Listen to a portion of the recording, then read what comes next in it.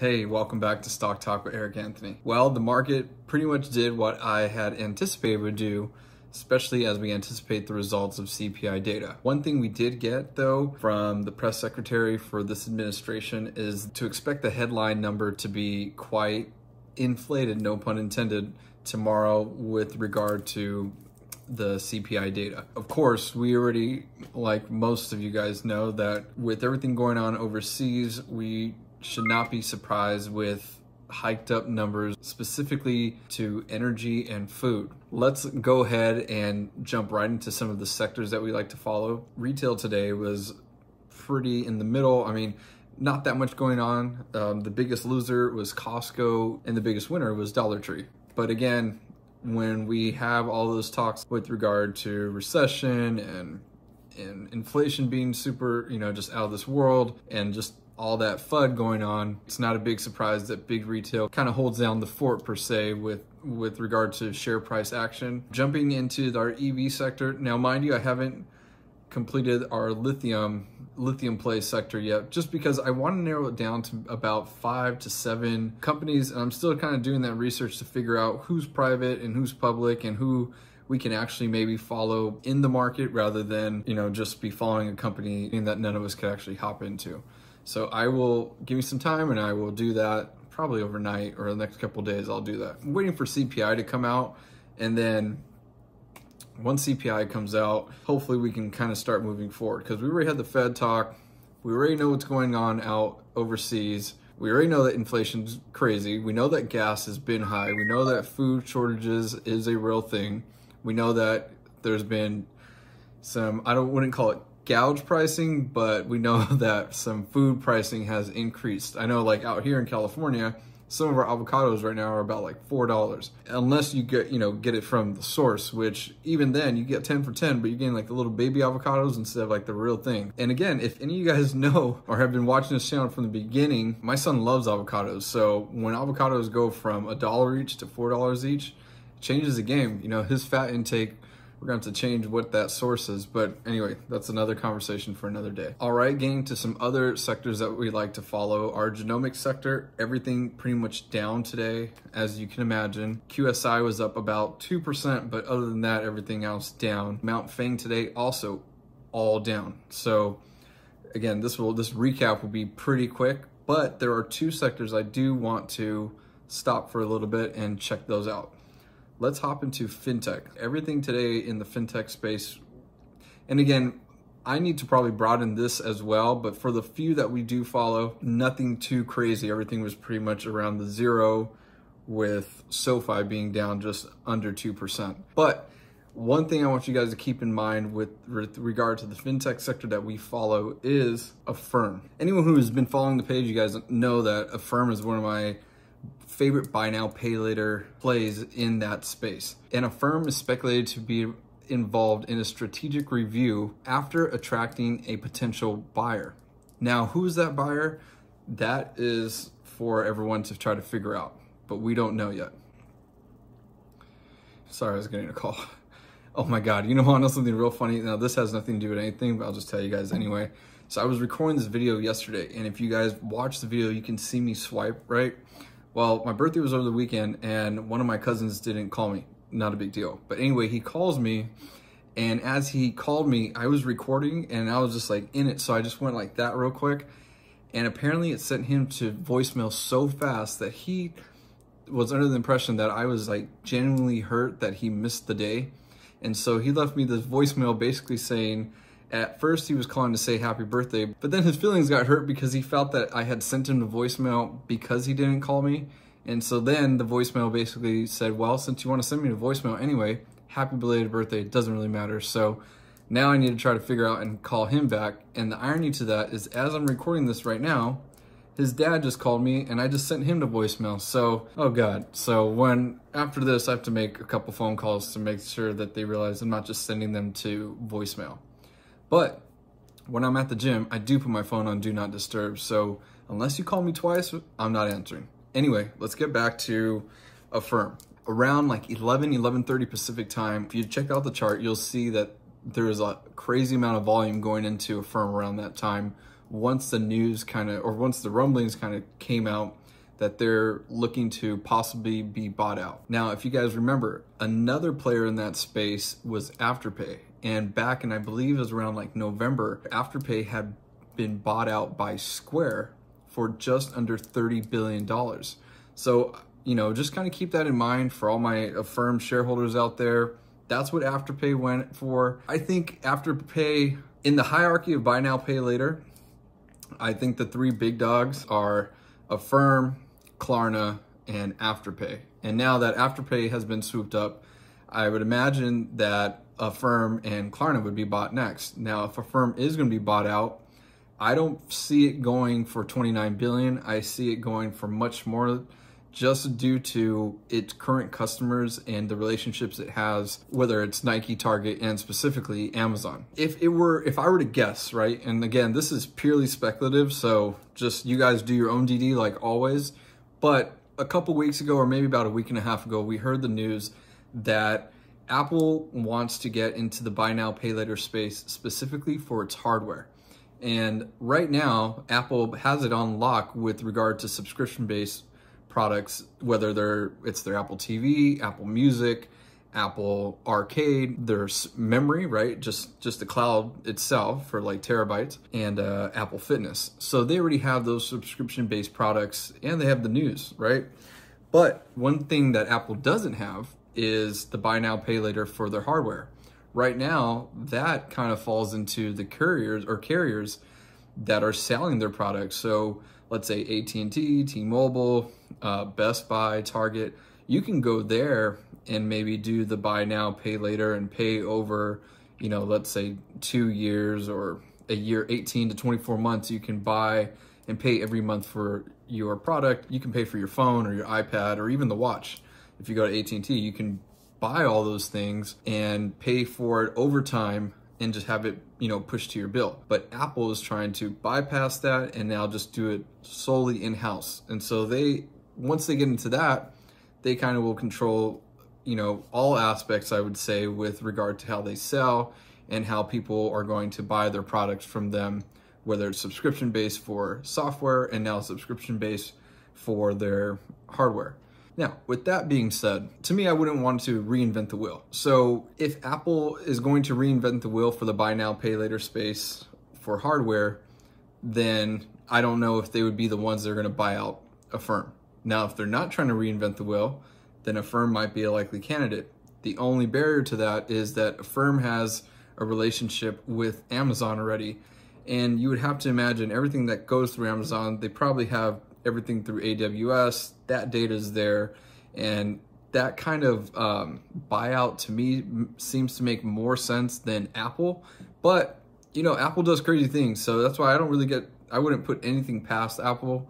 Look, the car. Everyone thought it was Hyundai, and now it's actually Porsche, right? So who knows what Apple has in store? But either way Affirm is right now the word in the streets or in the, you know, the word out is that Affirm is looking to be bought and they have a potential buyer already just looking for the strategic review. If I were to put money on it, it would be between Amazon and Apple. Let me know in the comments below who you guys think or you foresee being the company that would buy out Affirm. Okay, so let's move into another sector that I like to follow, our 3D plays nothing too crazy going on here with DM and Nano Dimension. But on Twitter the other day, I did reach out to the CEO of Desktop Metal, Rick Fulop, and I had just asked him a question that came up to me in a comment in a past video regarding the P50 printer. And I just wanted to know, you know, when are we going to get some feedback on how it's going with Black & Decker? And, you know, ever since Black and it was announced that Black & Decker had decided to make the purchase of the P50. He said that they just spoke at the AMUG and presented slides on P50 this week. I'll try to get permission from the conference and SBD to publish the slides from the presentation. So that's cool, and that's what I love about Rick Fulop, and I appreciate that about a lot of our new CEOs that are actually, you know, maintaining those relationships with the retail investors and keeping them in the loop, because at the end of the day, you know, money's money, and you're actually putting in your hard-earned money into these companies, and it it'd be in your best interest to kind of find out what's going on, and just to see what's coming into fruition. And ultimately have some progress or have some have a track on the progress that's being made with past deals such as the one with the P50 between Desktop Metal and Black & Decker. So I'm going to follow up with him later on tonight.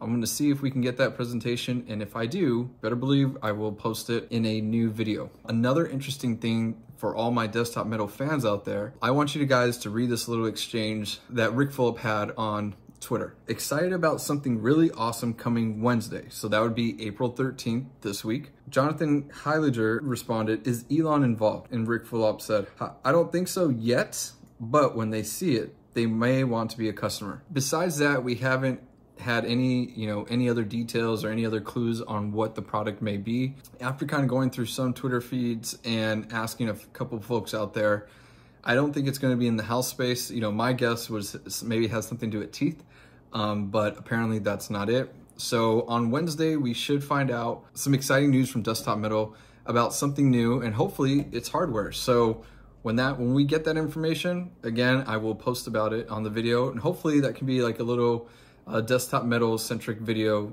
going over the P50 slides from that presentation, as well as giving us some new insight on a new product or just on whatever's new to come on Wednesday. That sums up what I was looking at today in the market. One thing that I did want to bring to you guys' attention, a story that came out last night in Bloomberg regarding Amazon and its drone deliveries. Okay, so the story basically is Amazon's drone crashes hit Jeff Bezos' delivery dreams. Billions of dollars and a decade later, and Amazon's delivery by drone program still isn't off the ground. This article right here was quite lengthy, so I will put in the link below so you guys can read the article or even hear it because they have the, the audio for it, which is pretty cool, but it is quite lengthy. To sum up what the story is basically saying, it's basically a hit piece on Amazon on how they'd rather rush production instead of putting safety to the top of the list with regard to how they handle these drone deliveries. And again, um, Amazon's goal for their Prime members is to be able to have the 30 minute delivery for some of their basic service goods, including medicine, snacks, and baby food. In this article, and again, I'm gonna put the link below so you guys can take the time to read it,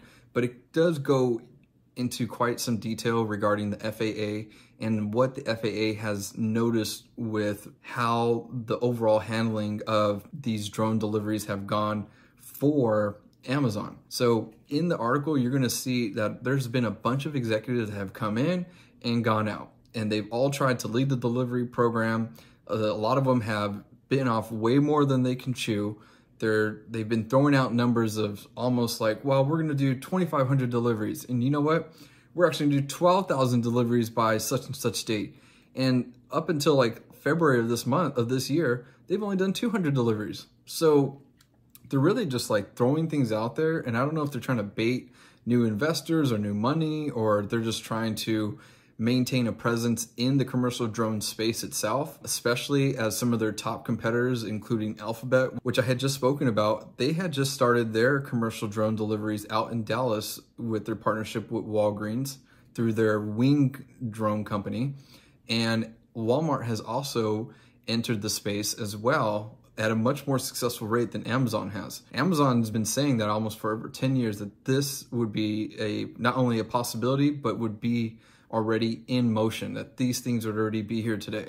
So for all my drone investors out there, just look, you know, to me, unfortunately, when you hear that drones are crashing and that the executives are, you know, kind of jumping way over into the deep end with regard to some of their expectations, all I really hear after reading that whole thing is that there's an opportunity there that I think ALPP needs to try to take advantage of because when it comes to ALPP and their ElecJet, and if you watch, the, if you go into my list, you can see the ElecJet and I kind of show you exactly what some of the tests that they've done to ensure safety regarding their batteries and Vayu Aerospace with their drones. To me, after reading this article, all I really hear, like, and I know this is repetitive, but the main thing I hear is that this seems to be an opportunity that ALPP should take full advantage of and try to reach out to Amazon and see how they can come in and show off some of their drones that have not only proven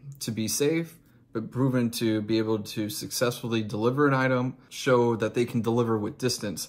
Because that was one of the main things that ALPP looked at when they first bought into Vayu way back when they were just um, showing off how they can deliver some of their medicine in a remote location. Anyway, I just wanted to bring that to your guys' attention. I'm not going to spend too much time on the article. And if you go on Twitter, there's many people out there that have done excellent jobs at showing you exactly some of the key highlights of this particular article.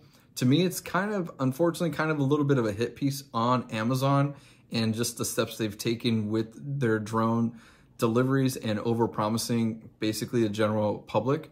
Another company that might, you know, benefit from this kind of news is a company like DroneDek because DroneDek already has the infrastructure set up and they already have the patent set up, which they beat Amazon by nine days. nine days. Again, I'm not going to spend too much time on the article, but I did want to bring to you guys' attention that Amazon is severely struggling with getting their drone, their commercial drone deliveries off the ground.